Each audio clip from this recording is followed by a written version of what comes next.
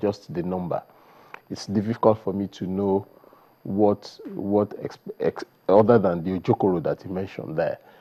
Um, That's Idris Shaga in Lagos. It's it's it's it's it's highly unlikely that 2011 cards are not there. Highly Now- unlikely. Hold on. Adewale Balogun, who's a pastor, says, I have a temporary voter's card with which I voted in 2011. I can't vote now because INEC has lost my name in their database and I'm too old to fight a rowdy fight.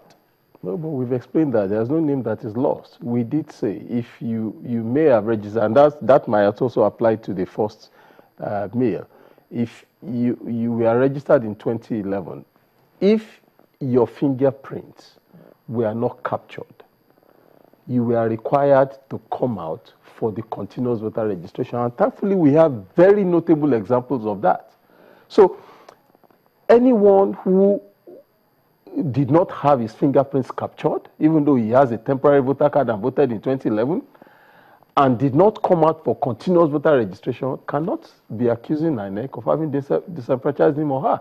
Because the requirement was that once you checked and your name is not there, don't bother to expect a permanent voter cards.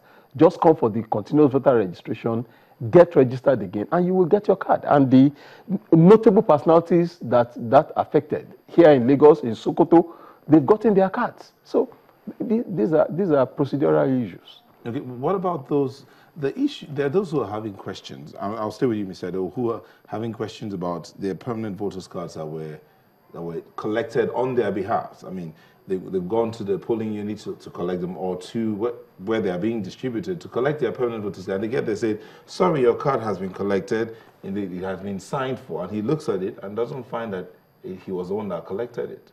How do how would those people vote? What will happen to them? There's a challenge there because you see, number one, collection by proxy is off the books as far as INEC procedures are concerned. So how do you how do you account? I'm sorry to cut you, but how do you account for those who had to collect theirs by proxy? For instance, in the north, in the northern part of the country, That, that claim is anecdotal. You see, again, Anecdotal? it's anecdotal. We had someone in our studios this morning who said his own card and that of his wife was brought in by a little girl after he had threatened INEC that he was going to report them to Abuja. No, but he could have told us how did the little girl take possession of the card?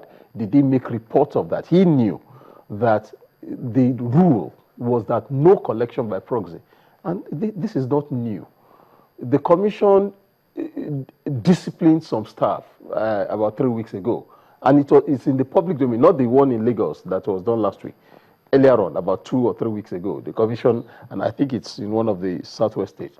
And the sole reason why they had to be disciplined was because they issued some cards by proxy. So it's clearly off the rules to issue card by proxy. Now, for somebody to stay at the back end and say, I collected mine by proxy, even if that were true, he has, he has not contributed anything to the process.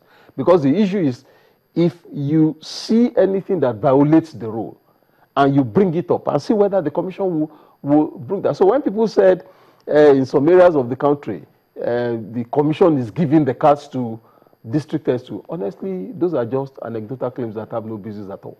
Would they be deliberately lying against INEC? Is that what you're saying? No, you know, people make all manners of claims uh, for all manners of gains, especially when politics is at stake.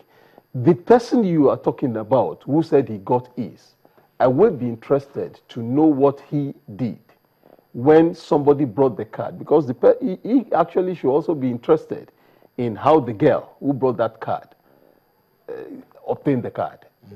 Just like I am interested, just like I know the INEC leadership is, is interested.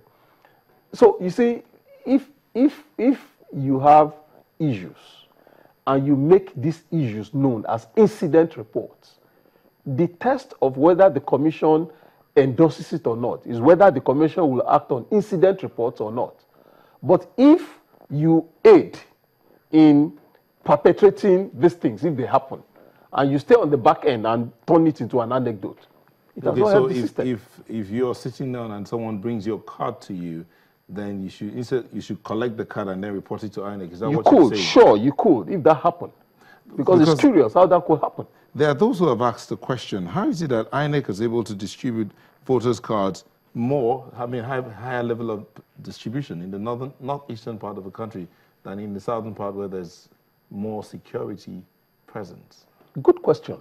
But again, that also shows a lack of understanding of what is at play. I've, I've had that claim, mixed, uh, that claim made over and over again. I have a table before me here of the distribution as at the 10th of, of February. Abia is not in the northeast. The collection rate was 79%. Akwa Ibom is not in the northeast. The collection rate is 84.44%. Cross River is not in the northeast. The collection rate is 73.13%. Ondo State is not in the northeast. The collection rate is 70.25%. Osun State is not in the northeast. The collection rate is 70.75%. River State is not in the northeast. The collection rate is 75.79%. What are we talking about? So, you see, it's easy for people. In any event, the commission does not have What's a regional rate for template. Lagos? The Lagos, Lagos collection rate as at 10th of, of, of February is 59.72%. So how is it that it's that? But I will come to that. That's the next point I'm making. You see, people also now look at these percentages in, up- in, in, in isolation. Now, if you have a voter population of 1 million, registered population, and 800,000 people collect their cards, you have 80%, isn't it? But if you have a voter population of 5 million, even when 3 million people have collected their card, you still have barely 50%. So you are not looking at it in quantum terms. You are just looking at it. Many of these places where there's a, you find popula- voter population of 1, 1 million, 1.2 million, and you, you are looking at it in, oh, percentages. Again, well, it could be an oversight, but again, it could be part of the games being played.